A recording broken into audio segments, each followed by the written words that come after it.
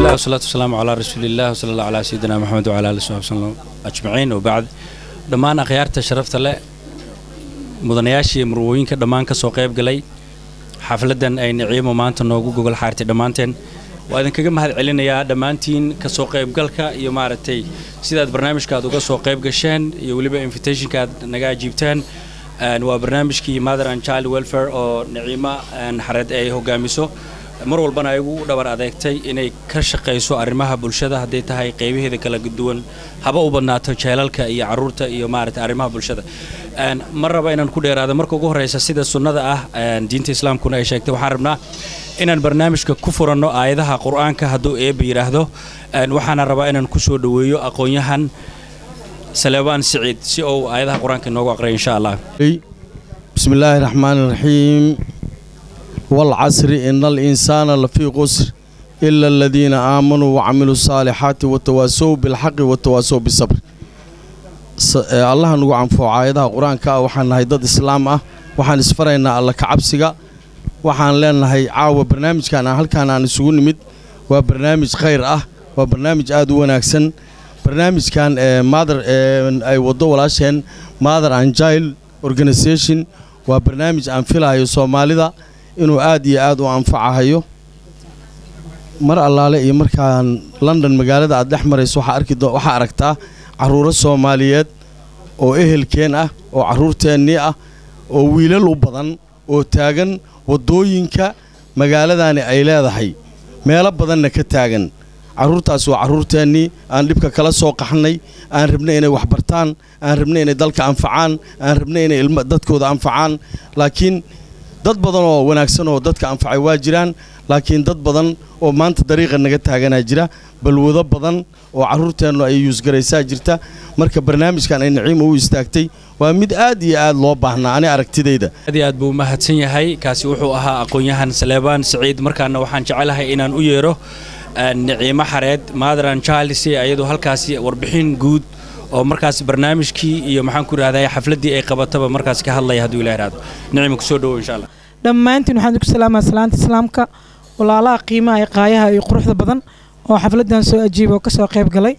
Aad ayaan idinkaga mahad celinayaa amaa bacda salaan kadib barnaamijka caawa waan isugu imaanay. Hordhiciisii ajantada warqadaha ayay ku qoran tahay.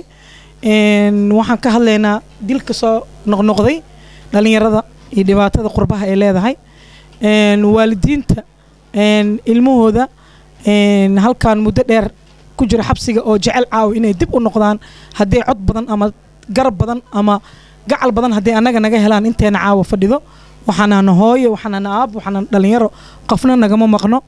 Aad iyo aad ayaan kugu mahad celinaya mar labaad mar saddexaad waa ku soo noqon doonaa barnaamijka. Waxaana u mahad celinayaa si gooni eh t v-ga caalamiga ee calson t v oo donationna na siiyo na garab taagan waqti walbo aad iyo aad ayaan ugu mahad celinayaa ila soo dhaweeya t v-ga calson waxaa ku xigo walaalahayga qaaliga oo caawi ag taagan walaalkay maxamed g b cabdirasaaq suule wariye caan eh oo ka howlgala t v-ga calson mar walbana garab taagan dhallinyarada ayagoo waqtigoodii maanta aad dareemi kartaa inay shaqo tahay magaalada ayay waxay dhahaan waqtiyadan aa wax samaynaysaan. Sadaqal jaariya tanaano ee marabna shaqo maasha allah waxaan si gooni uga mahad celinayaa oo caawana naga maqan walaal badan oo qaali ah oo magacooda inta ku soo koobi karin iyo walaal qaali oo soo kala saaraynin oo caawa meelo dheer nooga imaaday.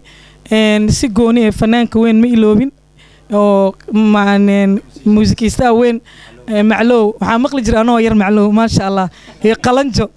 Quruxda qaaday heesii ay qaadi jirtay diriroy idinkoo dir oo caawa ayadana mar walbana garab taagan oo tirahdo nimco hawshaan ma ka haraayo ayada ayaa idiin sheegi doonto.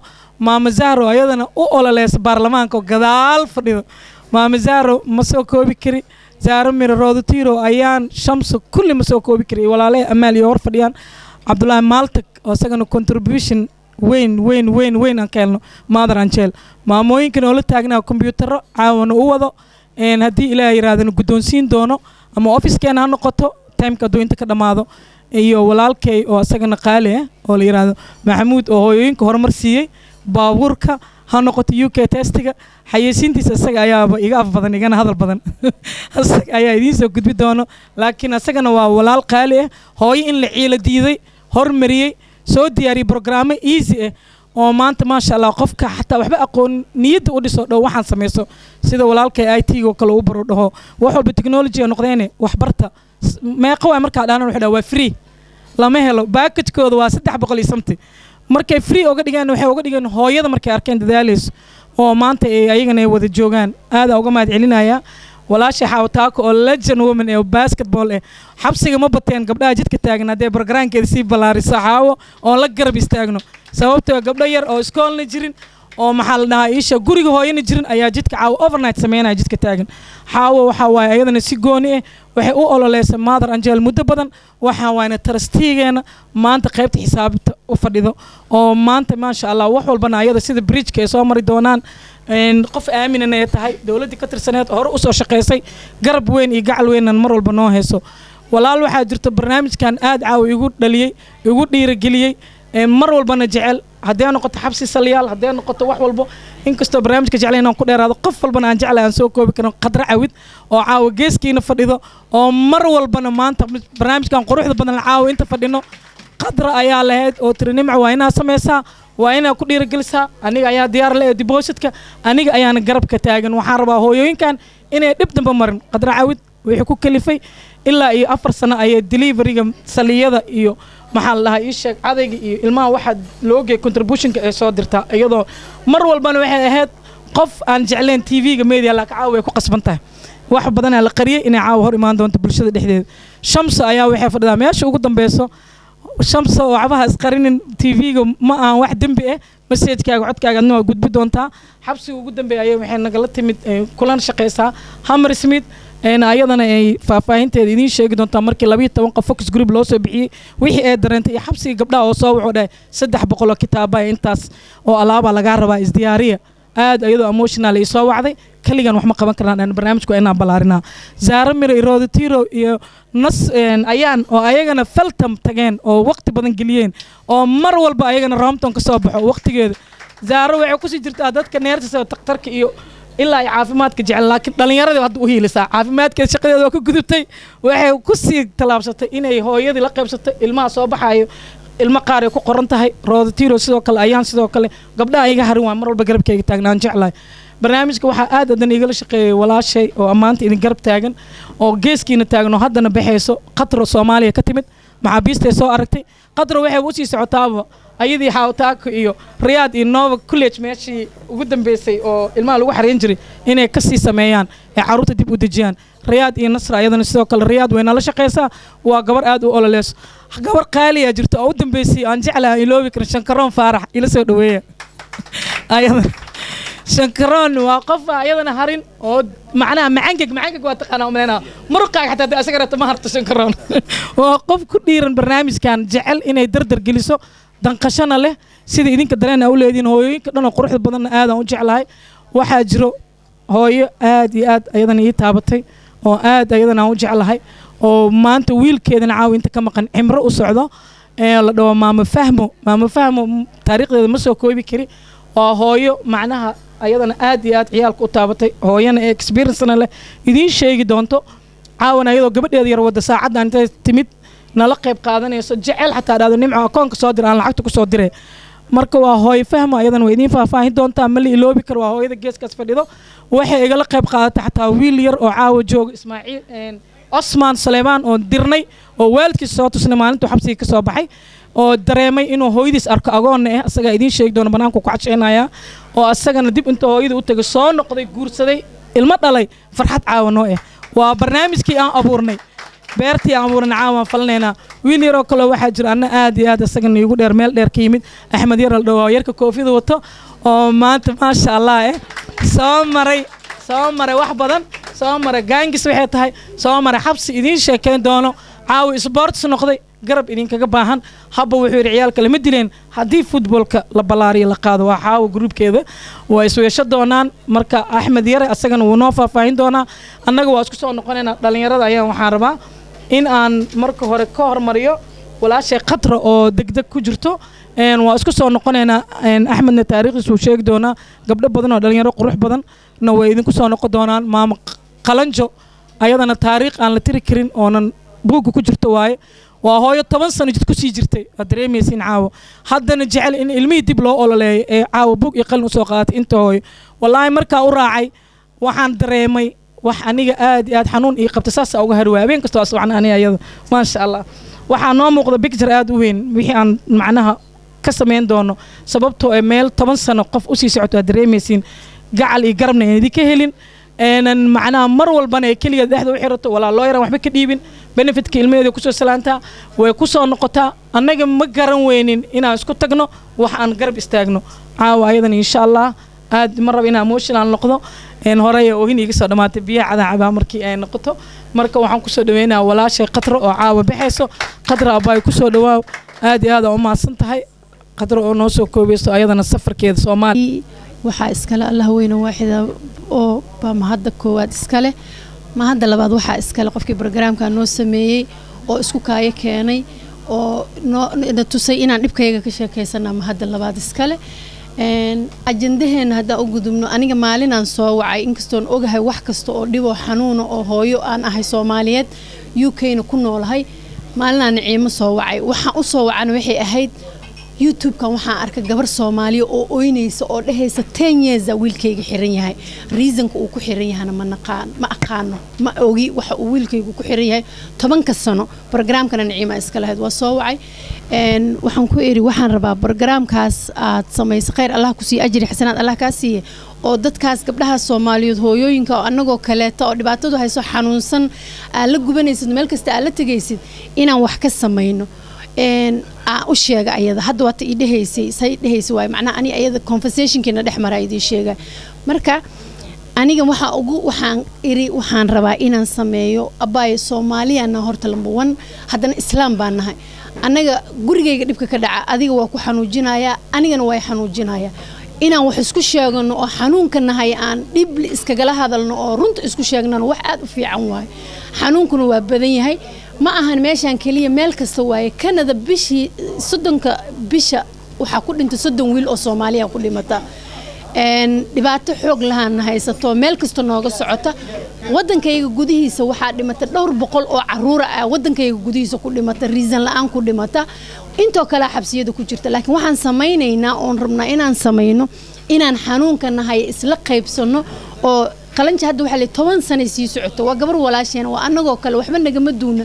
Haddana xanuunka ay qabto inaan la qabno la qaybsano soo waxaan rabaa inaan aniga sameeyo haddii ilaahay awoodale iyo ogolaado inaan samayno annaga dhan anigana aan kaalintayda ka qaatay inta igala qaadanaysana aan kala qaato. Inaan ilmahayaga u samaysano deputation u samaysano waddankayga ku ceshano waxaan ugu ceshan karnaa ilmahayaga inaan waddankayga ku ceshano unit inaan helno. Intayadan hadda meesha fadhida inaan wax sayngarayno intoo kale inay sayngarayso intoo kale inay sayngarayso iyago annagoo wadana maliyamaad sayn annagoo wadana dowladda inaan ula tagno soomaaliya gudaha la galno inay noo ogolaadaan ayagana ay dowladda kaleeta la kaashadaan. Inaan ka shaqayna arintaas aan miiskana u garaacna dowladeeda annaga dowladda annagayna dowlad noo tahay shaqaale noo yihiin. Ilmaha yaga inay xabsiyada ku jiraan maalin kastana jidka lagu dilo ma u adkaysan karno. Jirkayguna ma yeelay. Marka raallina iga ahaada idinkama caqli badni idinkama cilmi badni laakiin walaalayaalow intii dareenkaygu yahaan idinkala hadlaya wixii aan qaldana ilaahay iga cafiya laakiin aniga intaasaan diyaar u ah gabar kasta oo soomaaliya oo maanta waddankan joogtana wallaahi xanuunkay qabto waa la qabaa been ma idin sheegay markaana waxaan u yeerayaa lejan xaawo taako insha allah soo dhaweyn wacan asalaamu calaykum waraxmatullaahi barakaatu waxaan idinku salaamayaa salaanta islaamka.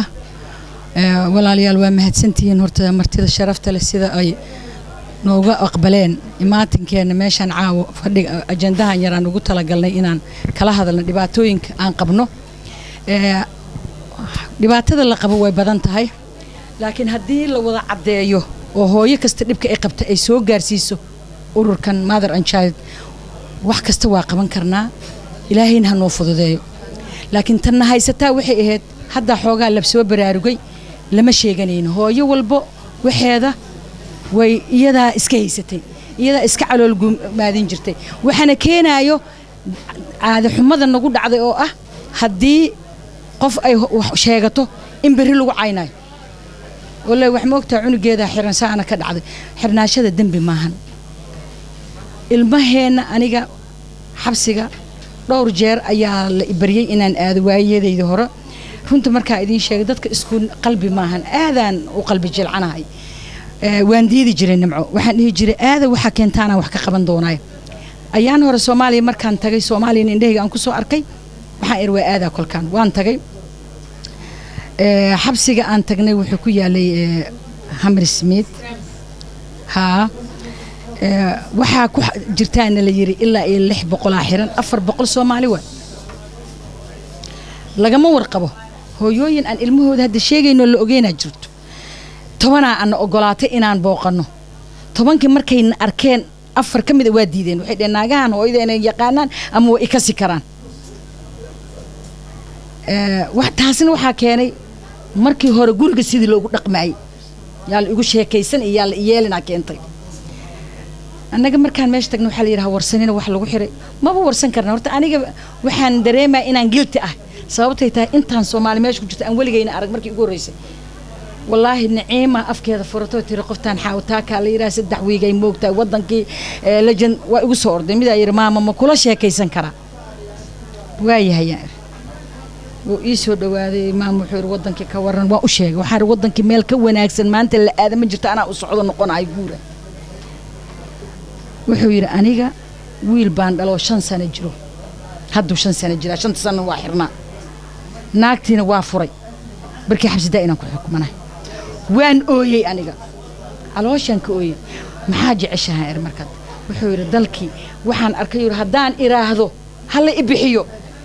Ma ku ma bixaysaa la ilaahi yidhi. Baasboorkiina qaadi ma deportation ma jiro. Ma baxaayo markaa inaa waxay ileeyihin hor igu handadaan waa lagu deportaaraynaa micno ma laha raggii wiilashii meesha fadhiyey waxaan idhi waxaan idin weydiinayaa commonly u hadlay haddii aad ka baxdaan meeshan shan sano ku xukuman oo laba ii bar noqonayo ku saddex haddaa baxdaan oo aad bannaanka tagtaan shaqo ma helaysaan. Waxay yidhaahdeen referenceka keen booliiskaana la leeyahay. Ayno waan ogahay. Waxaan nidhi maxaa la idin soo dhahaa karaymaa naloo soo qoraa mana naloo ogolaanay. Maxaa loo sameeyey mataqaaniinaa ir waa la idin yeeli karaa kan sana shan sano ku xukun iyo kan xabsidaa isku ma tihidiin isku xarigba ma tihidiin xaggana booliiskan waxaa la yeeli karaa waa la idin kala yarayn karaa waa la idinkugu qaban karaa. Laakiin lama rabaa ir meeshaan non government organization waay ninka booliiska joogo haddaanan qof la soo xirin mishaar ma laha. Mishaar ma laha. Ninka booliiska meesha joogo haddaanan qof la soo xirin mishaar male marka adiga shaqa lagu booliiska bannaankana waxaa loo sheegay inuu crime reference ku siiyo maxaa sameyne meesha dagaalaad gali waa lagu keenaa. Intale lagu keenaa lagugu soo celinaya wiilasha waxay noqotay wax oo yacni surprise ku noqotay. Wallaahi waa runta. Marka ma idinla fiican tahay inaad mar kasta crime ku dhex jirtaan maya. Waxaan idinkula talaar shalay waalidka waxaa laga yaabaa inaad tidhaahdeen guri noo gad baabuur noo gad kan lagugu soo dhoofiyey maanta gadaal u noqo back your home. Bajaajaa lagu gadaa ku shaqayso naagna guurso. Marka waxaan idiin sheegayaa runta markaan u hadalno. Ilmaha xabsiga ku jira waa dhiban yihiin. Waxay ku dhiban yihiin wax runta u sheegana ma haystaan. Marka hooyadiis markay umaada la sheekaysta waxyaalo u sheegi leed xataa ma u sheeg ma tagaayaan inta badan. Waxaan nidhi haddaa u baahataan waxna soo waca maadar anjaal nagala soo xiriira. Wiidhu waxaan idiin samayn karno. Marka hadda iyo talo inta maanta caawa inta joogta aadan ugu faraxsana intooda kalena way gaari doontaa. Walaalayaalow maraykan waxaan xaadir u ahaa indhahay ku arko airboortka ana dad soo dhawey ahaa sagaashanaa maalin la keenay. Maalintaan soo baxayna toddobaatan laga soo dejiyey. Ayagoo xiranaa diyaaradda marka looga soo dhexfuraa la soo dejiyey. Waa dad sharci la'aan iyo dad xabsi laga soo bixiyey. Markaa runta idiin sheego wax kale ma aynan samaynin. Waddankoodiyaa la keenay. Wallaahi bilaahi waddanka aga qiimo badan. Teeda kale waxaa la idinka rabaa ilmaha haddii la dabartaareeyo oo dad xataa u joogo inaf maahan. Waa inaan u kacnaayo dad xagga laga dhisaa la yidhaahdaa ilmaha la keenaayo dhaqan celinay u baahan yihiin. Dhaqan celinta maxaa waaye? Diinta in la baro. Waxyaa waxay yidhahdeen annaga markii nala soo xiraa muslim ma ihin oo maxaa dhacay? Ee salaadna ma dukanayn mana soo laakiin hadda waa salaadna waa dukan hadda muslimna.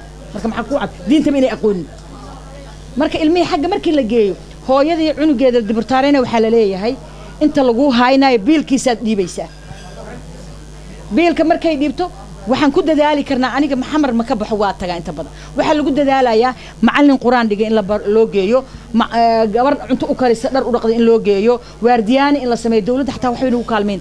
Laakiin mar alla markii muddaa loo waxaa leeyahay shan bilood lix bilood intay rabtaa barta markay tiraa okay dadkaasa igu dhiibi kartaan waa loogu dhiibi. Hadday tiraa iskuul ii geeya waa loo geynaya baabuuraa la sameynaya iskoolaada la geynaya ilmaha ma ahan xabsi in laga bixiyo xabsi la geynayo maaha deportation it means dhaqan celinay rabaan ilmahan. Dhaqan celintana waxay ku imaan tahay saa hadda isugu xirana in wadankii looga helaa? Dad isku xiran oo wax u qabto. Waxayna ku imaan kartaa hooyooyinka inta inay wax qabtaan ay ilmaha u quuraan inay wax dhiibayaan. Marka cunug xabsi kaaga jiro waxaa kuu dhanta adoo wadankii ku ogaato. Markuu nin rag noqdana reer ha yeesho guuri aroosi kadibna ha shaqaysto. Marka aadaa u mahadsantihiin xoogaa yacni waxaan ahay qof ilmana dhashay garan karto dhibaatada ilmaha ay leeyihiin ayagoo oo maanta ilaahay ka badbaadiya ama reer le ama aan weli ku sii haynaa ilaalo. Aan weli sii asoo reer lahaad ilaalinay wiilkii gabadhii sababtay tahayna waddankaa ah. Marka walaalayaal waxaan idinka baryayaa ha la isku noqdo gacanta gadaal ha loo geliyo abaaraa jiro wax kastaa jiro abaaraha abaarteeda kalaana haysata cunug xabsi ku jira abaar wax ma dhaamo. Ma haysano cunug. Cunug wax ma haysano abaar wax ma dhaanto cunugeenna wuxuu cuna caaw ma ogid oo ku jiifo meesha. Marka hal dib ha la isku noqdo hal in hadda inta lagu hadlo mideeda kale hal waxaan idinka waaninaya labaatan baanoon ku cashayno waxaa dhaanto annagoon casho cunin labaatan kanaan ku ridna qasnada hadda waa idiin sheegaa. Shir dambe oo la isugu imaanaya casho lama cunaayo. Xafiiska oo waxaan fariisanaynaa ee naciimo labaatanka gasaca la sameyna waa lagu aruurinaa ilmahaasay wax u taraysaa marka cunuga soddon baanu u baahan yahay. Hadday hooyadii sii weynays waa inaan annaga siinaa marka habeen kasta ina haddaan inta ku raaxaysan annaga cunno waxaan suubinay ma laha. Wax ay taraysa male nonsense lacag la cunto lagu cuno. Waxaan idiin sheegaa dad dhiig ha la yska dhigo. Naciimo waxay ka xishoonay dadkii aa wacday biyo la'aan. Weligeed yaa la cabin biyo. Waxaa ka daran xanuunka nahaayo. Beynka nahaayaa nooga daran. Marka ha lagu dadaalo taas ilaahay ma arta khayr hana waafajiyo. Abshirta allah nala kulmiyo. Wixii khayrka ku jirana ilaahay ha nala kulmiyo. Waxaan idin leeyahay maadaama ani treasuraan ahay waxaan jeclahay shilinka meeshuu ku baxay in la ogaado. Ani caawa ma xisaabi kara cuntaa la cuno intaasoo qof. Waxaanan fiirin karin waayo. Waa wax aan ka soo horjeedo. Please and please. Naciimo waa imaqlay walaashay. Xafiiskaas noo samee istaagan xataa ku jiraan annaga wax kale uma imaanin. In lacag la aruuriyaa la rabaa waa la dhigaa gasaca ha lagu rida lacagta asalaamu calaykum waraxmatullahi wabarakaatu aad bay umahadsan tahay mar labaad mar saddexaadba. Markaana waxaan rabaa inaan ku soo dhaweeyo aqoon-yahan maxamuud cumar insha allah ku soo dhawow waad mahadsan tahay horta naciima se igu soo dhaweysay ururkan jaal mother and jail marka waxa weyn kaleetan unu ku biirin laha waxa weyn sidaan u shaqaynayna way wanaagsan tahay legendkan waxaa la sheegay iyo qofkii ka horreeyey sida loo sameeyo waxyaa waxaa jirta aan u baahan petitionka si loo qoraa jirta. Marka petitionka haddii looyar loo tago oo la qoro kadib masjidada la tego oo laga qoro. Marka shan boqol oo kun haddii la helo petitionkaasi waxay dhacaysaa in maaragtay embiyada loo geeyo. Marka foomka loo qoro petitionka horta inaan soo hagaajino ayay noqonaysaa si deportation loogu sameeyo. System kale soo regan baa jira. Ilmahayga ka soo qaata hadduu dash passport haysto oo kale ama danish haddaan haysto oo kale uu hadda kareem galo waa la qaadaa waxaa la geeliya holland. Toban sanana waa laga mamnuuca inuu waddanka soo galo hollandna ciyaalkii ma joogaan.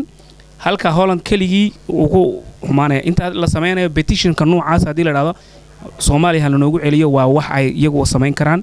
Kadib fareegiina way bixin karaan waxyaabay kale. Marka waxyaabaha kale een khaladka kaleen galena soomaaliyahaan waxa weyn waa saddex shay. Waddankan markaan imanay tacliinta waddankani saddex qaybood baa laga qaybiyaa. Educationka.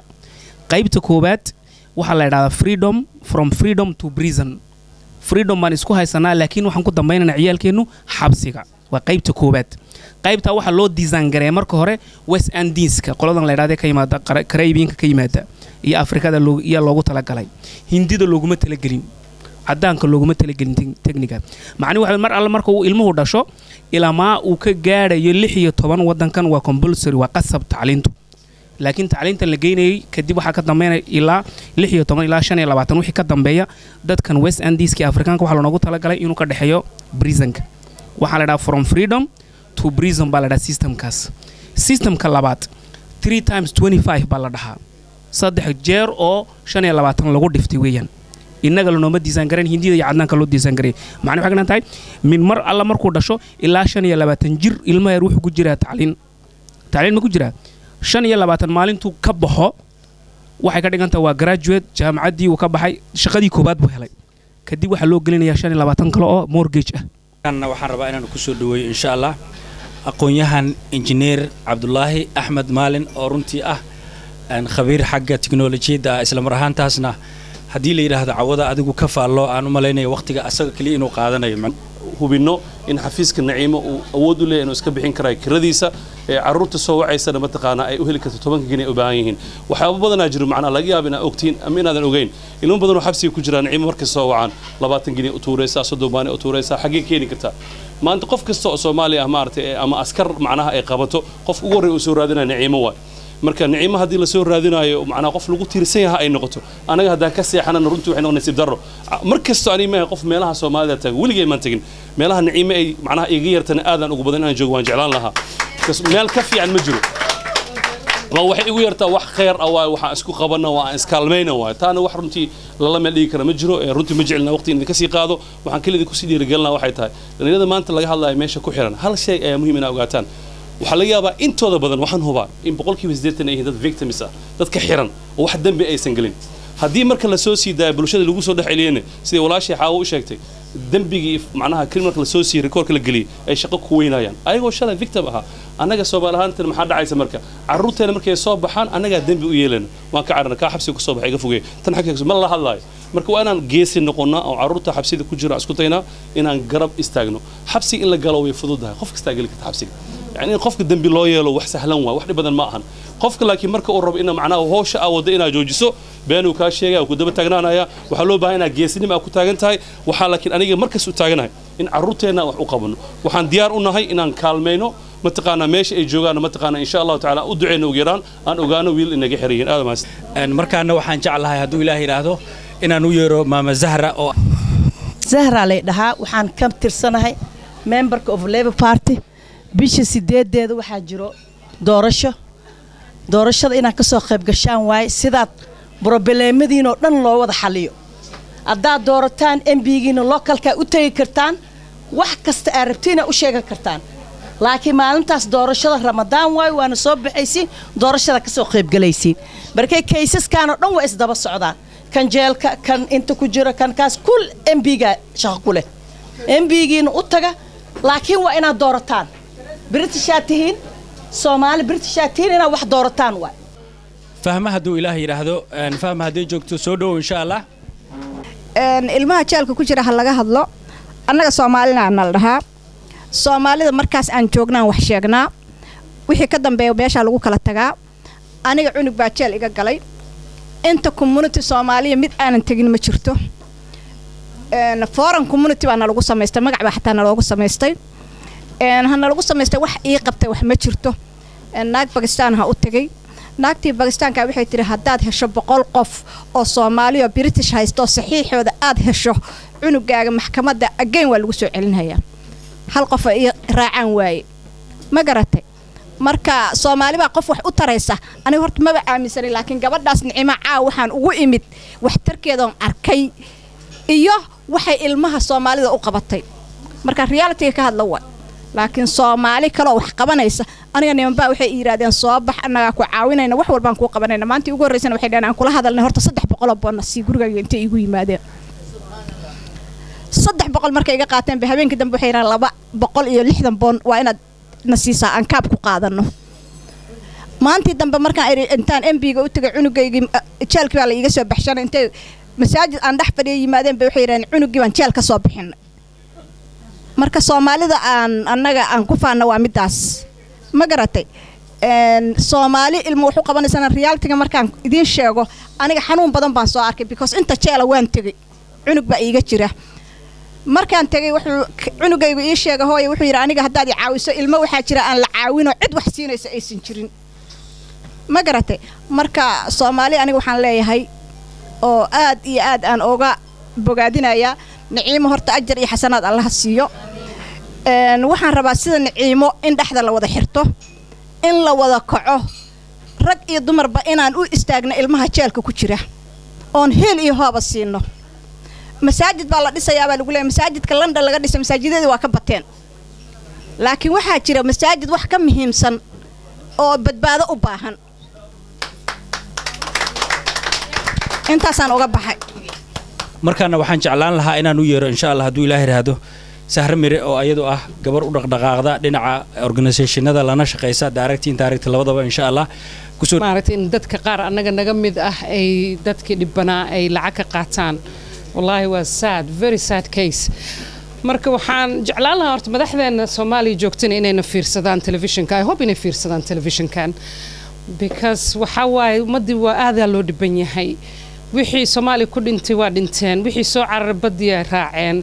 Especially dhallinyarada. Wixii badda ku dhintay waa ku dhinteen. Kii baddi ka fakaday nin carabaa haysta ama dilay. Kii baddi ka soo fakaday ninkii carabka ka soo fakaday halkanaa loo joogaa. Ama drugs ama wuxuu u dhammaaday jeel. Marka generationada dambe wallahi wax loo cabsado waaye. Aad iyo aad. Aniga hooyo soomaaliyeeda ahay ciyaala halkan ii joogo. Mentaraan ahay maaragtay meel saanoo kale la isugu yimid oo lagaga hadlaayo xabsiyada aan maaragtay gacanta iska taagtay.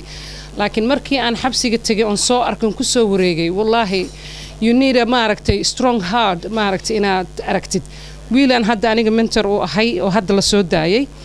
Markaan dhaa qolkaaga i tus wallaahi wiil asiga la eg same age oo soomaali ahaa fadhiyey naxdin markuu qolkii aan galay waxaan idhi maxaa ka soo doontay? Meeshaa fiirisid mid soomaaliya taagan Mean maaragtay haddana jeelashii markaa fiirisid oo maaragtay seel kasta waxaa ku dhegan dadka ka shaqeeyo oo maaragtay ah ugu yaraan labaatan qof. Hal qof oo soomaali kuma jiro shaqaale ah. Hal qof soomaali kuma jiro hindi iyo madow iyo caddaanaa ku jiro. Waay soomaalida xataa aysan uga shaqaynayn jeelasha? Maaragtay uh, uh, university educated. Waa laba sano training bes Knew markaan yaraa horta waaba iska qaadan lahaa trainingka because gabdho badanna waa ku jiraan.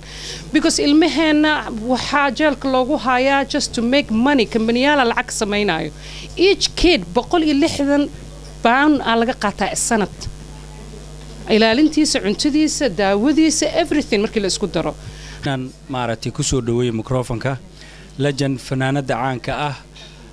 Khadiijo insha allah hadduu ilaah yidhaahdo. Khadiija qalanjo waxaa waa inaad ila soo dhaweysaan aan jeclaan lahaa insha allah. Raxiim. Hadalka iskuma fiicinin. Mikrofoonkana waanu ilownay horta dee wixii la sheegi lahaayoo dhanba gabdhihii igu horreeyey baa sheegay. Horta hal baan idin leeyahay ilmaha haddaad markii sidii gabdhihii hore sheegeen aad tidhaahdo waan qarsanayaa iyo heblaayaa igu caayaysa iyo heblaayaa sidani odhanaysa dee hooyooyinku may keenin dhibta shayddaanka dariiqa u taagan ayaa ku ilhaamiyey. Marka maa hooyadu inay embaarasin ka noqoto ilmaheedii oo ay tidhaahdo maxaydan waan qarsanayaa. Qofkii bini'aadmigaa wuxuunbuu kuu qaban wuxuunbuu kugu taageeray qofka walaalkaaya. Ii ducee walaal ilmihiibaa iga xidhan ilmihiibaa iga buka anigaa xanuunsanaya. Wax dhib oo ay leedahay ma jirto. Mideeda kale marka ilmaha sidii inantu ay sheegaysay uu dibadda u soo baxuu leeyahy xalimooyinka iigu daran ilmaha lama eryado waan istaagaa imka yarkaas imka aniga isoo maxaydan meesha ii soo dhaweynayey haa waxaan ku idhi hooyo maxaydanay waa inaad waaye arag noqotiin waa inaad waxaan iska daysiin maxaad doonaysiin fiyuujirkiina inaad ilma sii dhashiin inaad sidan yeeshiin? Marka waxa weeyaan ilmaha lama sii eryado inta haddaan ka baxo deeqa qalombi oo ah iyadu mid ka mid a saxafiyiinta wariyaasha ka howlgala waddankan ingiriiska gaar ahaan magaalada london aan waqtigoo nagu ciriiriya awgeys insha allah hadduu ilaah yidhaahdo deeqa qalombi ku soo dhowow insha allah aad iyo aad baa rasaaq dhammaantiin waan idin salaamayaa akhyaarta isugu timi caawa madashan ee soo ajiibay. Hawsha ay halkan noogu samaysay walaashee naciimo run ahaantii qof kastaoo isxilqaama ilaahay agtiisa ayuu ajar ka helayaa. Qof kastaoo caawiyaana sidoo kale. Waxaan ku faraxsanahay walaasheen hawsha ay u haysa ummaddeeda. Annagana waan garab taagannahay mar kasta iyo meel kasta oo ay ku qabanayso idinkana sidoo kale ayaan idiin rajaynayaa. Runtii dad badan baa hadalka iiga horreeyey waa u ducaynaynaa niciimo idinkuna aad iyo aad baad u mahadsantihiin markaana waxaan jeclaan lahaa inaan u yeero cusmaan saleebaan oo asagu aan is leeyahay xubin buuxda weeye. Barakaatu. Caawa way kana hoos keenay. Meel fogaan iga imi. It's been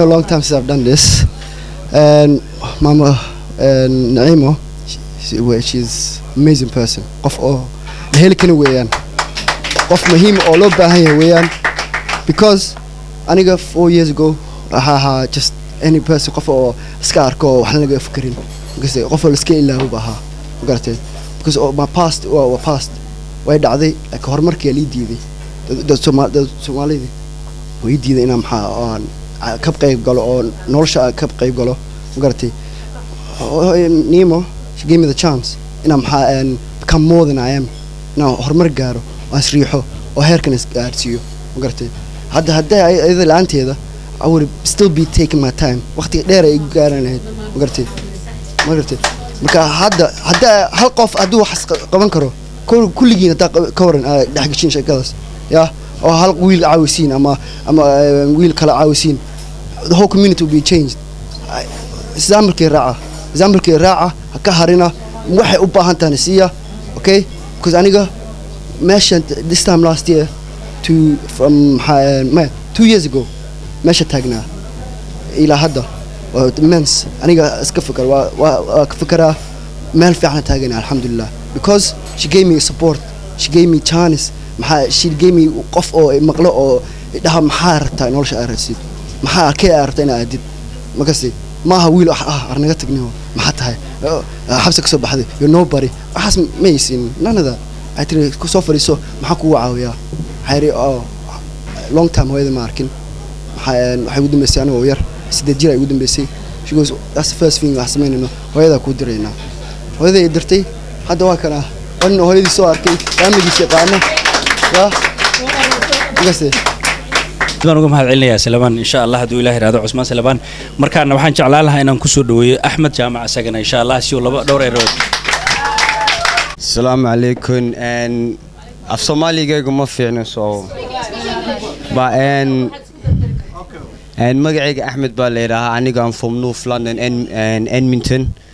And i grew up in tottenham but mostly and half of my life i spent in tapat lane. And in that area anu markan yaraa waxaan ku bilaabay anigoo afar iyo toban jira gangs. Wax kastoo la isiin jiray meel kastoo la igeyn jiray baa anigaas ku wacnaa hooyadaygumay wacneen cindaygumay wacneen anaa doortay. But it's like lifeka after couple years anigoo jooga around 2006 half of my friends baa la xiray. Anigaygii i got emotional because of my friends baa la xiray. So i started going into a different path and then I was young at that time. I was about maybe 15 when the kuiga waaweyn la xiray but it was just it was more emotional for me and more difficult inan inan saaxiibaasha arkay la xiray so anigaygii waxaan noqday inan sii inan sii galo and sii fogaado on on on waxaa galo so markii dambe anu waxaan bilaabay inaan wax iibiyo on hashiish amba cadaan amba wixii doonta ahaatoon iibiyo on dagaal iyo waxaa galo ilaahay baa ii sahlay midi mar baa laygeliya ba alxamdulilah maanta wayna ag jooga so alxamdulilah And kasi kasi ka- kasitaanka n markan markan because anigu tottenham baan ka imid tottenham waa meel waa xaafad oo iska iska dhib badan dhibaateysan so anaka as a somali tottenham edmonton tapalen wood green wada walaalaan ahayn isla soo wada kornay wada family. Anagu gang maanu ahayn ba dadku gang bay haysteen. Way xiran jireen kani waa gang kani waa gang kani waa gang. Ba maanta haddaadna wada aragtid qaar way guursadeen qaar way weynaadeen qaar waxbay barteen qaar way ka baxeen qaar waa kunku ag taagan. So inan kasta amba soomaali kasta he needs a he needs a he needs a chance. And like some of saaxiibayaashayda maanta xabsi bay ku jiraan aan habeen iyo maalin waan u duceeya inuu ilaahay ka soo saaro because qaar badan man garanaya oon la soo koray oo ay ag taagna oon saaxiib nahay inay xabsi ku jiraan anuu saddex sana xabsiga ku jiray 2013 baan ka soo baxay ani xabsiga maan ka soo baxay sannadkii ugu horeeyey weli waan ku jir jiray markii dambe ilaahay baa iga soo saaray anigoo iminka am 25 years old anigoo labayo labaatana ayuu in macalin macalin kubadda ayaa arkay talentkayga. Anigoo kubad ciyaaraya anen wii soo qabtay wuxuu yidhi kubaddaa ku fiican tahay. Anen anigoo kubadda ciyaaraya wii soo qabtay wuxuu yidhi axmed oo waxaan iskaga bax waxaanu samaynaysa kuma fiicna. Adeerka waa la garanayaa. Adeerka hargeysuu somaliland buu wasiir ka yahay so adig waxana isno faa'iido kuma le reerkaaga waa la garanaya but it's like it's a different thing where it was. Anigayga waxa uman jeedin I care about that all I cared about was that time lacagta and on moneyga lacagta on sameynayay waxa on sameynayay kaasaan ii muuqatay family waxaasaan ii mu muuqan but maanta I see that. And today I go everywhere. I go meel kastoon tago on dadka la hadlo ciyaalka waaniyo ciyaalka edmonton oo dhan imika ay jooga mcdonaldska amba meel kasta oo jooga kubaddan geeya waan isku keenaa kuwa xabsiga jooga waxaan sidaa habo habo caawi habo ani way caawisay she came all the way to edmonton for me arrimo badan bay la qabatay howlo badan bay la qabatay. Anigu haddaan haystay markaan xabsiga ku jiray haboo kale maata I would have been a different person. You understand but it's like it's like it's like waxay waxay waxay haba qabato cid qaban karta ma jirto.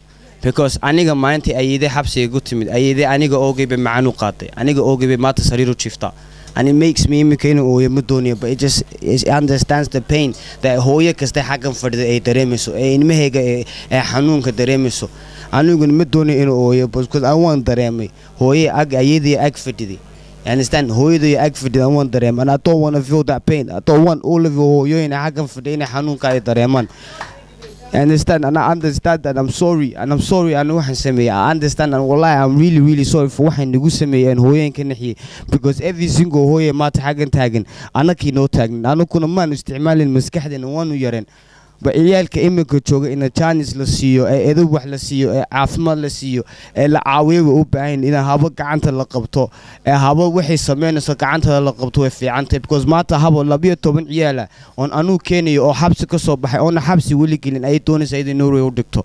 Taasi waa dhibaato sideeda socotay in ciyaal labiyo toban ciyaal ay qabatid oo xabsi ka soo baxay inay kubadgeysid anuu maanta alxamdu anu anu maanta alxamdulilah anu maanta alxamdulilah shahaadooyinkay kubadda waan qaatay ama football coach imika. Ciyaalkan kubadda ciyaarsiiyaa shalay bristol baan joogay but it's a different it's a different. Intaasi took me time. Askartu way ii diideen inay ciyaal kubad ciyaarsiiyo way ii diideen they said no because criminal career ka arkin but mata it took me waxaan soo qaatay six months ago and it's difficult it's hard to waxaan soo maray laalaha markaan inaan u yeero shankaroon shankaroon soo dhawaa baa insha allah. Kulligii waa idin salaamay. Salaanta islaamka idinku salaamay horta ururkan naciimo markay dhisaysay annaga waa la dhisnay. Ulajeedadana waxay ahayd in laga faa'iido hooyooyinka. Waayo reer london aan nahay london aniga labaatan sanaan joogaa. Naciima norway nooga timi norway waa ku soo wada jaaratiga. Halkaana aniga iyada waxaan ku fakarnay dhinaceen aadnaa waayo boqol community a furan saa u ogtiin reer london. Qof moog ma jirto. Fikradda waxay ku timid xaggeen aadnaa waxaan aragnay wiilasha magdoonada iska taagan cid wuxuu qabanaya jirin hooyo ilmo laga xiray cid taqaanaba jirin. Marka annaga waxaan loo kalifa hooyaannaa inaan danqanno ciyaalka xabisyada ka buuxo wallahi hadda wiilashaan meeshay ka soo baxeen. Fadham waxaa ku jira ciyaal yaryar cunuga u yar afariy toban jir ka bilaa ilaa labaatan. Naciimii aniga waqtigaan tagayn waa oon jirin waxba ma qaban jirin. Waayo ilmaha xataa marmar way kaa carraa waxaana keenaayo societygeena xun. Cunuga xiran ceeb maa asxaabtii waa la xiri jire asxaabtii waa la xiri jire oo banishman waa. Marka ani hooyo kasta waxaan ka codsanaya oo ilmo leh oo dhibaatada haysata iyo qarsanin. Ururkan wuxuu u taagan yahay and child loo abuuray ilmaha xabiska wax kale ma qabto. Ilmaha xabiska ayuu qabtaa. Wax kale ma qabto. Xabiskan waxaa nuu kalifay carruurtanadiyaa dayacan hooyadii abii waa kala tageen. Hooyadii waa keligeed. Yee la sheekaysane meeqo hooyaa waalan. Meeqo cunugaa dhibaataysan. Labadan cunugoo badbaada maa. Waxaa nooga baahan wiilal badan oo diyaara in la badbaadiyo. Waa tahay shankaroon aad iyo aad baan uga mahad celinaynaa insha allah. Fikirkeeda runtii thank you. Wax badan baan kuu mahad insha allah kheyr fara badan allah ku siiyo. Markaana waxaan jeclahay ayadoo wakhtigu aad ciriiri noogu yahay inaan ku soo dhaweeyo microfonka khadracawad insha allah khadracawad fali tafadal bismi illaahi raxmaan raxiim marka ugu horeysa ilaah baa mahad iskale oo meeshaan suukaan keena kulligeen insha allah ilaahayna waxaynu ka baryanaa kule waxaanu ku wada ducaysanay ilaahayna noo sahlo. Insha allah aan wax badan ma sheegayo. Dadkii o dhan baa iga horreeyey marka insha allah barnaamijkana wax muddo badan soo socda weeyaan. Insha allah dalkii dibadda buu ka shaqayn doonaa. Halkanoo qura kuma eka. Soomaaliya xataa insha allah jeelashooda insha allah inaan ka shaqayno waana ka shaqaynaa. Waana sii wadanaa insha allah haddii ilaaha idmo inkastoo aniga soomaali aana weli arkin insha allah i will go soon insha allah waan tegi doonaa anoo yaraan ka soo tegay laftigay qurbahanaas kaga koray marka alxamdulilah rabbilcaalamiin marka anigu mid baan idiin sheegayaa hooyooyinka dhibaatada ku dhacda in la garab istaago anigu waxaan arkay hooyooyin badan oo baqanaya oon sheegi karaynin dhibka haysta oo ka cabsoonaya waa lagu sheekeysanayaa waa la caayayaa dhibkan waa qarsanaa soomaalida i don't know why waxa u qarsanayno because mid kasta waxay ka baqanaysaa waa la fadaxadeynayaa waa la caayayaa qeyrkii baan ugu liidanaa. Ma ugu liidatid ilmaha hadduu jeelka galo waxa weeyaan soomaaliya way geli jiraan adduunkao dhan waa la galaa marka aad baan kaaga mahad celinaynaa runtii thank you very much. Markaana waxaan rabaa inaan u yeero waqtigoo yar. Riyaad faarax insha allah fali tafadal oo ka mid salaamo dhammaantiin. Intii la yiriba la yiri.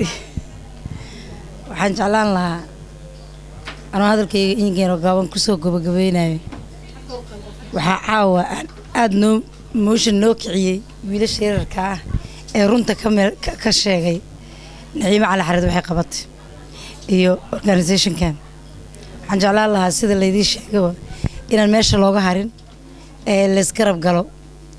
Gudahana loogu talagalo loo- loogu taga carruurta. Gruub naga mida inay isqaybaan xabsiyada laysu qaybiyo dhowr xabsi waaye. Ee la raaco hooyooyinka ilmaha ka xiran yihiin. Lalana soo dareemo hooyadaas xanuunka hayo inaan hadalka sii wado maaha. Waxay laga dhigi karo waa la dhahay laakiin waxaan aad iyo aad aan u jeclahay in gacmo wadajira wax ku gooyaane. Gacmaha lays wada qabto. Waa tahay aad iyo aad bay umahadsan tahay riyaad faarax. Markaana waxaan jeclahay mikrofonka inaan ku soo dhoweeyo amal cilmi iyo deeqa cali insha allah. Asalaamu calaykum waa mahadsan tahay soole walaal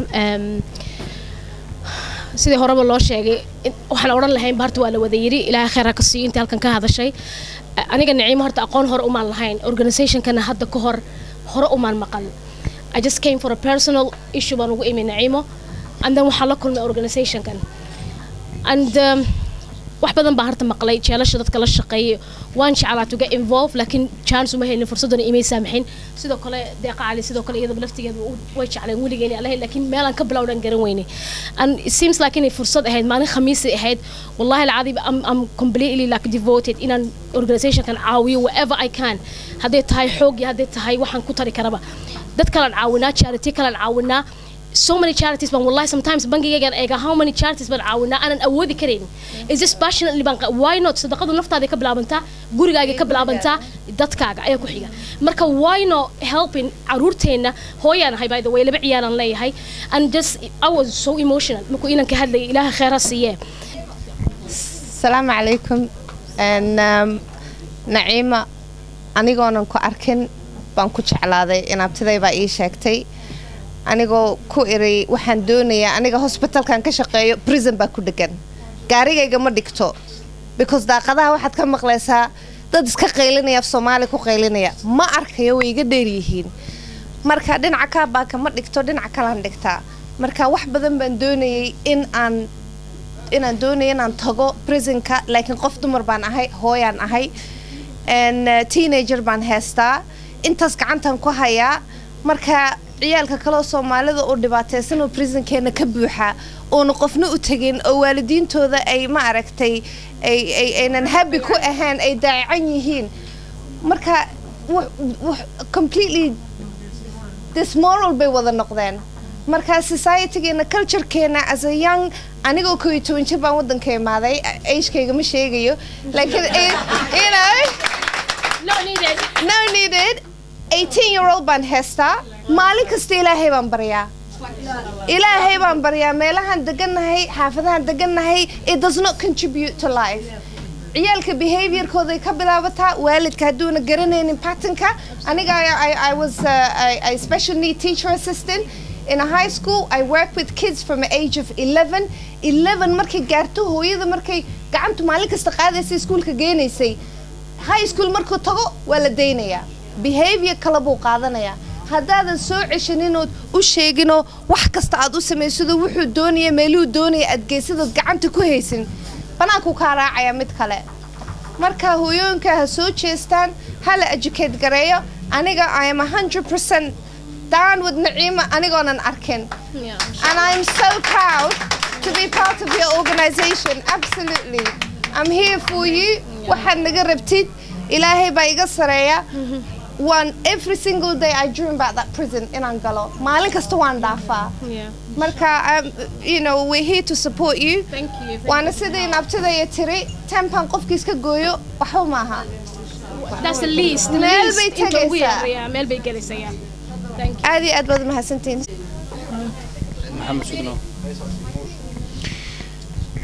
waa tahay waxaanu ku soo gabangabeynaynaa barnaamijkii aanu ku eegeynay xaaladda markaasi dhallinyarada prisonka iyo weliba arrimaha markaasi bulshada iyo familiga iyo waxyaabaha lamidka ahba. Insha allah intaas ayaan ku soo afmeeraynaa waxaan halkan uga mahad celinayaa runtii dhammaan. Marka ugu horeysa dhammaan guud ahaan iyo gebi ahaanba dadka ka soo qayb galay raggan iyo dumarkan aadka u quruxda badan leh waqtigoodii qiimaha badnaana runtii u soo horay cawada inay and child welf- welfare ka- kaga qayb galaan barnaamijka. Runtii aad baan kaga mahad celinayaa.